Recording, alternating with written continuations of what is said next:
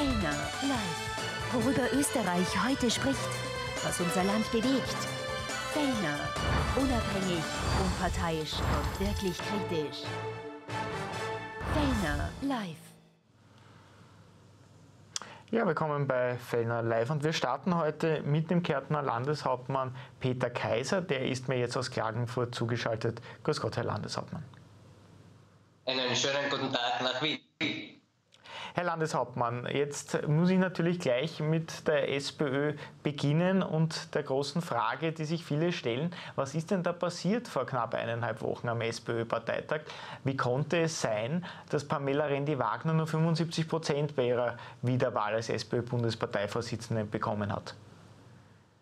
Herr Fellner, Sie gestatten, dass ich nur vorausschicke, auch für die Zuseherinnen und Zuseher, dass ich einen sehr tragischen Tod in meinem unmittelbarsten Familienkreis hatte, daher persönlich nicht anwesend sein konnte, sehr wohl aber die Rede der Parteivorsitzenden und des Wiener Bürgermeisters gehört habe. Ich habe heute Parteivorstand gehabt und wir haben sehr ausführlich über zweieinhalb Stunden die Sachlage debattiert und ich möchte Ihnen einige Punkte geben, die vielleicht sehr deutlich sagen, wie wir in Kärntner Sozialdemokratie diesen Parteitag beobachtet haben. Das erste ist, das Ergebnis ist ein Faktum. Da gibt es nichts herumzudeuteln. Ich spreche mich genauso wie Pamela Rendi-Wagner gegen jegliche Abstimmungsforensik aus, sprich, warum hat jemand aus welchem Grund, warum dagegen gestimmt. Es ist so, wie es ist. Es ist ein Faktum und daher haben wir die Aufgabe, selbstkritisch uns damit auseinanderzusetzen und zu schauen, was machen wir anders besser und vielleicht auch offener intern, um eine wirkliche Alternative bei der nächsten Nationalratswahl zu sein. Der zweite Punkt, den alle unsere Parteivorstandsmitglieder unterstrichen haben, ist weg endlich von der Beschäftigung ausschließlich mit sich selber, denn diesen Eindruck verstärkt durch Medien macht die Sozialdemokratie und hin zur Auseinandersetzung mit Themen, die die Lebensrealität der Menschen dort, wo es notwendig ist, und wegen dieser Regierung, die wir derzeit haben, ist es in vielen Bereichen notwendig, dort die Lebensrealitäten zu verbessern. Und der dritte Punkt ist, ja, es scheint eine gewisse Distanz zwischen Parteibasis und Parteispitzen, ich verwende bewusst den Plural, zu geben. Und das ist eine Situation, wo wir dem entgegensteuern sollen, konkrete Vorschläge, eine Österreich-Tour der wichtigsten Träger der Sozialdemokratie und viel mehr Milieupräsenz. Und damit meine ich das, was Pamela Rendi-Wagner im Unterschied zu allen anderen gezeigt hat, in der Frage MAN in Steyr präsent zu sein, die Anliegen der Leute mit aufzugreifen, sich auf Seite der Arbeitnehmer und Arbeitnehmer zu stellen. Das sind Dinge, die wir in nächster Zeit verstärkt machen sollen. Jetzt hat Pamela Rendi-Wagner selber in einem Interview hier auf OE24 TV von Feigheit gesprochen, weil sich die Kritiker nicht offen bekannt haben am Parteitag. Ist das wirklich feig, dass da eigentlich niemand öffentlich aufgetreten ist und man dann 25 Prozent Steichungen hat? Es ist vielleicht nicht die offene Art des Widerspruches und des Diskurses, den ich mir persönlich auch wünschen würde aber es werden niemand ohne Grund seine Position gehabt haben. Und genau das ist für mich der Ansatzpunkt. Wenn es so ist, wie es ist, und das ist ein Faktum, haben wir zu schauen, und da nehme ich Anleihe bei Hans-Peter Doskozil, dass wir wirklich eine Selbstreflexion, alle von uns, die Parteitagsdelegierten, aber auch die Spitzenfunktionäre und Funktionäre anstellen. Und für mich heißt Selbstreflexion jedenfalls kein öffentliches Ausrichten und keine Schlagzeilenhäscherei, um persönliche Vorteile zu machen, sondern intern öfter, härter, kontroversieller als bisher, aber eben intern zu diskutieren und dann aber mit einer Position hinauszugehen. Dass das auch in schwierigen Punkten möglich ist, haben wir mit mehreren Papieren gezeigt. Haben Sie eigentlich ein schlechtes Gewissen, dass Sie da auch ein bisschen einen Anteil haben an diesen 25% Streichungen wegen diesem Antrag äh, der Staatsbürgerschaften, der ja durchaus auch für Kritik gesorgt hat im Vorhinein des Parteitags? Es war meine Aufgabe, gemeinsam mit anderen Freundinnen und Freunden einen offenen Punkt des letzten Parteitages rechtzeitig vor dem diesjährigen Parteitag zu erledigen. Dem sind wir nachgekommen. Und ich denke, und das habe ich öfters gesagt, wie immer man inhaltlich zu solchen Dingen stehen mag, der Parteivorstand, also die Spitze dieser Partei mit rund 70 Personen, hat einstimmig diesen Vorschlag angenommen. Ob das jetzt ein Ding der Mitschuld ist, ich sage es ganz offen, wir sind alle eine Partei und jeder trägt seine Verantwortung mit. Ich stelle mich dieser sehr gerne und habe das auch mit meiner Kandidatur letztlich getan, zwar in Abwesenheit, aber doch kandidiert. 25 Prozent, das ist ein Viertel der Delegierten die gegen Pamela Rendi-Wagner gestimmt haben. Da stellt sich natürlich schon die Frage, war das organisiert? Ich habe gesagt, ich möchte keine Parteitagsabstimmungsforensik anstellen, wie immer. Leute haben, meine Delegierten haben mir gesagt, dass sie keinen Eindruck von organisiertem Streichen haben. Wichtig aber ist nicht das Ergebnis jetzt, denn das ist verschüttete Milch von gestern. Wichtig ist, dass wir die Inhalte klar bestimmen, zu denen wir gehen, dass wir empathischer, emotioneller, auch in den sozialen Milieus, wo es Probleme gibt, unsere Frau, unser Mann dort präsent sein stellen und dass wir die inhaltlichen Punkte aufbauen. Und ich kündige Ihnen nur vorweg an, wir haben heute auch acht Punkte beschlossen im Parteivorstand der SPÖ Kärnten, die wir auch unserer Bundesorganisation übermitteln, wo wir denken, dass der derzeit die treuendsten Probleme sind. Wenn es von Interesse ist, bin ich gerne bereit, diese auch zusammengefasst zu bringen. Welche Punkte sind das, Herr Landeshauptmann? In aller adäquater Kürze. Erstens adäquate Mindestlöhne in der Europäischen Union, kollektivvertragsgesicherte in Österreich. Damit stärken wir die Kaufkraft der Schwächeren einen höheren, auch budgetär sichtbaren Stellenwert von Bildung, Gesundheit und allgemeiner Versorgung, das heißt Stärkung und Modernisierung der Infrastrukturmaßnahmen des Sozialstaates und der Gemeinden sowie Ausbau der Pflegeversorgung. Der dritte Punkt ist eine Änderung des Steuer- und Abgabensystems, weniger Besteuerung vom Faktor Arbeit, von Löhnen und damit auch niedrige Einkommen zu entlasten. Dafür auch gleichzeitig eine Kaufkraftstärkung für den wirtschaftlichen Binnenmarkt zu erzeugen. Aber ja, Besteuerung von Kapital, Vermögen, Erbschaft und Ressourcenverbrauch. Hier soll das Verursacherprinzip gelten. Der vierte Punkt ist Bekämpfung und Milderung der Armut und Erhöhung der sozialen Gerechtigkeit und Treffsicherheit von Sozialmaßnahmen. Wir treten uns fünftens für eine progressive Industrie- und Wirtschaftspolitik mit volkswirtschaftlichen, ökologischen, nachhaltigen und auch politischen Strategien ein. Verkürzt gesagt, mehr Profit, Qualifizierung denn Quantifizierung. Forschung und Entwicklung sowie wesentliche Produktionen wie die Pharmaindustrie, Covid hat es gezeigt, medizinische Anzüge etc. müssen in die EU zurückgeholt werden und wir brauchen Maßnahmen gegen Steuerdumping. Ich bin sehr froh, dass die OECD erstmals gemeinsam mit 130 Staaten hier eine Einigung gehabt hat dass niemand unter den Dumpingsteuersatz von 15 Prozent geht. Das ist einmal ein erster Schritt in die richtige Richtung. Vorletzter Punkt, Arbeit ist mehr als nur Lohnarbeit. Das heißt, ich möchte auch die Anerkennung gesellschaftlich erforderlicher und notwendiger Arbeit. Das kann insbesondere im Bereich der Frauen mit Versicherungsjahren Hinzurechnungen geben. Und letzter Punkt, und das ist für mich auch ganz wichtig, wir brauchen eine Investitionsoffensive, wir brauchen eine Qualifizierungsoffensive und wir brauchen eine Sozialstaatsoffensive, um aus dieser Krise herauszukommen und die postpandemischen, also nach der Pandemie kommenden Fragestellungen auch bearbeiten zu können. Wer bezahlt die Krise, steht über all dem. Ich glaube, das muss eine sozial gerecht verteilte Lastenverteilung werden.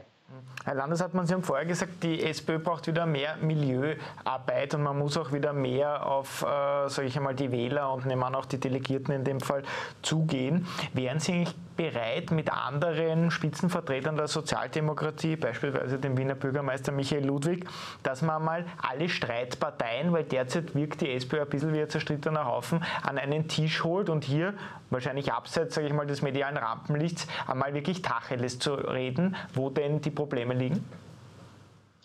Wir haben das auch in der Vergangenheit schon gemacht. Ich habe da heute auch den konkreten Vorschlag an die Partei äh, Verantwortlichen mitgestellt. Ich zähle mich selber dazu, dass wir halbjährliche Treffen der Landesparteivorsitzenden und der Landesgeschäftsführer mit dem Bundesparteivorsitzenden und Geschäftsführer haben, um die Schritte miteinander abzuklären, einen permanenten Dialoggremium zu haben und auch ganz offen gesagt, Herr Fellner, dann auch von mir aus hinter verschlossenen Türen zu streiten, bis dieser berühmte, bei uns wird es halt roter Rauch sein, herauskommt, weil wir uns einig sind. Äh, was natürlich auch für viel Kritik gesorgt hat, war die Organisation dieses Parteitags. Einerseits die Frage, die sich doch viele gestellt haben, wie kann einem Bundesgeschäftsführer nicht auffallen, dass 25 Prozent anscheinend unzufrieden sind im Vorhinein eines solchen Parteitags. Und andererseits muss man sagen, was ja fast ein bisschen untergegangen ist, dieser Parteitag war ja am Ende nicht mehr beschlussfähig, weil zu wenig Delegierte im Raum waren. Josef Schaap hat vergangene Woche gesagt, sowas hat er überhaupt noch nie erlebt und er versteht nicht, wie eine Organisation das passieren kann. Muss man nicht auch über die Bundesgeschäftsführung der SPÖ nachdenken? Ich glaube, das sind genau jene Punkte, die Sie nennen, die wir untereinander, miteinander besprechen, denn wir sind alle mitverantwortlich. Wir haben die Vorgehensweise auch im Bundesparteivorstand besprochen. Ich bitte ein bisschen zu berücksichtigen. Erstens noch einmal, ich war persönlich nicht vor Ort, kann daher nicht so kompetent das bewerten, wie es andere tun. Aber zweitens, dass das schon unter sehr spezifischen Covid-gelenkten Voraussetzungen stattzufinden hat und dass anfänglich auch die Freude darüber überwogen hat, dass wir erstens äh, uns wieder persönlich treffen können und austauschen können und zweitens, ich sage das noch einmal auch mit entsprechendem Stolz, es war eine exzellente Rede sowohl der Parteivorsitzenden als auch des Wiener Bürgermeisters. Aber muss man über die Organisation und auch die personelle Besetzung der Bundesgeschäftsführung nachdenken? Wir können über alles immer nachdenken. Das ist ja auch einer jener Bereiche, die wir im Unterschied zu sehr hierarchisch, diktatorisch geführten Parteien haben. Manchmal haben wir vielleicht etwas zu viel an divergierenden Meinungen, aber am Ende des Tages ist mir das noch immer lieber als Friedhofsstille und quasi Ukas Erlass von oben, was zu tun ist. Aber ich denke, dass wir diese Vorgänge, nämlich die Diskussion, die Meinungsfindung entscheidend verbessern müssen und da sind alle dazu aufgerufen, vom Kärntner Parteivorsitzenden bis zum Bundesgeschäftsführer. Kann eigentlich eine Bundesparteivorsitzende, die mit nur 75 Prozent gewählt wird, Ihrer Meinung nach überhaupt noch Spitzenkandidatin bei der nächsten Nationalratswahl werden? Ich möchte die Frage vielleicht etwas breiter interpretierend sehen, als wir nach einer Situation, bei der der damalige Parteivorsitzende Kern zurückgelegt hat, in einer sehr schwierigen Situation war, war es Pamela Rendi-Wagner, die Frau genug war und sich dieser Verantwortung gestellt hat. Und sie hat auch, und ich möchte nicht wissen, wie viele ähnliche Größe gezeigt hätten, nach diesem Ergebnis, das kein Gutes und Schönes für sie war, trotzdem wiederum ihre Frau gestanden, hat die Sozialdemokratie nicht als Partei in eine tiefe Krise gestürzt, das wäre passiert, wenn sie spontan irgendeine andere Reaktion gezeigt hätte, sondern war bereit, alles zu tun, um die Situation wieder zu verbessern. Und das ist schon das Holz, aus dem auch Menschen geschnitzt sind, die einen sehr, sehr starken Charakter haben. Ähm, jetzt ist gestern bekannt geworden, dass der ehemalige Bundeskanzler, Sie haben es gerade angesprochen, Christian Kern, äh, den burgenländischen Landeshauptmann Hans-Peter Doskozil berät. Ähm, für viele Politikkenner doch überraschend, muss man sagen, weil die beiden ja nicht immer als beste Freunde galten. Hat Sie das eigentlich überrascht? Ich glaube, der Mensch bin ich selber, je mehr Kapazität, Wissen, Erfahrung und Know-how wir in die Partei, egal wo, in welchem Bundesland oder auf Bundesebene einbringen, umso besser sollte es in der Letztausformung dann für die Menschen sein. In dem Fall im Burgenland, sonst österreichweit. Jetzt ist Christian Kern ja eigentlich äh, viel im Sommer auch in Kärnten. Berät das hier eigentlich auch? Wir treffen uns immer wieder und ich schätze jedes Gespräch, übrigens nicht nur Christian Kern, auch Alfred Gusenbauer zählt zum Kreis meiner Freunde, wo wir uns sehr, sehr gerne politisch austauschen. Sie würden ihn auch als Berater bezeichnen? Als Freund und da sind beratende Funktionen, Austausch von Meinungen, Analysen von gegebenen Problemstellungen immer mit dabei. Herr Landeshauptmann, ich würde noch gern zu einem ganz anderen Thema kommen, zur Impfung. Wie läuft denn der Impffortschritt in Kärnten momentan? Weil man hört ja immer mehr Meldungen, dass äh, generell äh, die Impfungen zurückgehen, dass es auch schwieriger wird ähm, und dass es immer mehr Impfschwänzer gibt, vor allem was den zweiten Termin betrifft. Ähm, merken Sie das in Kärnten auch? Wir haben eine ganz leicht andere Herangehensweise aufgrund der vorhandenen äh, Impfdosierungen gehabt. Wir haben versucht, sehr knapp die Erst- und die Zweitimpfung aufeinander abzustimmen. Ich habe mir extra die Zahlen herausgeholt für dieses Interview. Herr Fellner, wir haben bei denen, die impfbar sind, derzeit einen Stand von 59,3 Prozent Erstimpfungen, aber schon 44,2 Prozent voll immunisierte Menschen. Das heißt, bei uns ist diese Lücke zwischen Erst- und Zweitimpfung relativ gering. Wir haben mit gestrigen Tag gemeinsam mit allen österreichischen Medien auch eine Kampagne gestartet, Ärmel hochkrempeln, impfen lassen, weil wir versuchen jetzt auch an jene Kreise der Bevölkerung ranzukommen, die vielleicht noch nicht so überzeugt sind. Mir kommt es darauf an, dass wir überzeugen, dass wir Argumente liefern und dass wir versuchen, die Durchimpfungsrate in Richtung 70 Prozent zu bekommen. Wir sind auf einem guten Weg. Jetzt gibt es in vielen Bundesländern derzeit Aktionen, um das Impfen attraktiver zu machen. In Wien gibt es jetzt Impfung ohne Anmeldung, Oberösterreich impft äh, ab Mittwoch in Shoppingcentern sogar und beim Wirt kann man sich impfen lassen. Planen Sie ähnliche Aktionen auch in Kärnten? Ja, wir haben im letzten Koordinationsgremium, das ist unsere Einrichtung, bei der wir diese Krise permanent begleiten, mittlerweile 175 Sitzungen bereits auch geschaut, ob wir, so wie wir es beim Testen hatten, mobile Impfeinheiten wieder zustande bringen. Ich habe auch vor, dass wir bei den Impfstraßen konzentrieren und dass wir mit den mobilen Bereichen vielleicht dann auch in jenen Gemeinden mit den zuständigen Verantwortlichen Kontakt aufnehmen, wo die Impfrate aus welchen Gründen auch immer, das analysieren wir, geringer ist. Also ich möchte auch hier versuchen, punktgenau den Menschen zusätzliche Angebote zu machen. In Wien gibt es gerade heftige Diskussionen, weil der Wiener Bürgermeister und die Wiener Stadtregierung Verschärfungen letzte Woche erlassen haben, nämlich dass Kinder ab sechs Jahren sich testen lassen müssen, wenn sie in die Gastronomie oder beispielsweise ins Freibad gehen. Bei Ihnen in Kärnten, wenn ich richtig informiert bin, endet die Schule, glaube ich, Ende dieser Woche. Das heißt, ab nächster Woche gibt es dann Ferien. Planen Sie ähnliche Verschärfungen auch in Kärnten? Wir haben das jetzt mit dem zwölften Lebensjahr, wie es in den Verordnungen festgelegt ist, einmal festgehalten. Wir beobachten jeden Tag akribisch die Fallentwicklungen. Sie können sich erinnern, Herr Fellner, im Vorjahr hatten wir an Hotspots Maskenpflicht, obwohl sie in ganz Österreich ausgesetzt worden sind, eingeführt. Ich glaube auch, dass wir einen ausgewogenen Balance zwischen Maßnahmen, aber auch einer notwendigen Freiheit und Umgang mit diesem Virus haben müssen. Derzeit ist bei Kindern noch nichts vorgesehen. Ich habe aber sehr viel Verständnis dafür, wenn man hier lieber sicherer und mehr schützend als vielleicht äh, mehr liberal unterwegs ist. Jetzt ist es so, Sie haben das eh schon angesprochen, viele Touristen strömen derzeit auch ob des schönen Wetters nach Kärnten und es gibt halt Hotspots wie Felden etc., wo sich dann auch am Abend ordentlich abspielt. Können Sie sich vorstellen, dort auch wieder eine Maskenpflicht zu verhängen? Wir sind immer in engster Abstimmung mit dem Bürgermeister, mit den Bezirksverwaltungsbehörden. Wenn der Wunsch herangetragen und die Zahlen dafür sprechen, dann werden wir es nicht scheuen, Schutzmaßnahmen für alle Menschen einzuleiten. Welcher Art die sind, muss dann die spezifische Bewertung ergeben. Ich verweise nur darauf, dass wir derzeit die mit Abstand niedrigste Inzidenz in Österreich haben. Das ist auch auf die sehr hohe Disziplin und auf viele Schutzmaßnahmen zurückzuführen. Ich hoffe, dass wir diesen Trend beibehalten können. Jetzt gibt es immer mehr Experten, die davor warnen, dass wir zu sorglos sind derzeit im Umgang mit der Pandemie. Kann man den Menschen auch derzeit äh, schwer übel nehmen angesichts der sehr niedrigen Zahlen. Sie haben selber gerade angesprochen. Aber laufen wir ein bisschen Gefahr, die Fehler des letzten Sommers vielleicht zu wiederholen und dann im Herbst hier wieder vor einem Anstieg äh, der Corona-Zahlen zu stehen? Die Gefahr wohnt jeder Lockerung inne. Ich möchte aber schon darauf verweisen, weil mir das jetzt ein klein wenig zu kurz kommt in den breiten Diskussionen. Wir haben noch immer eine Pandemie.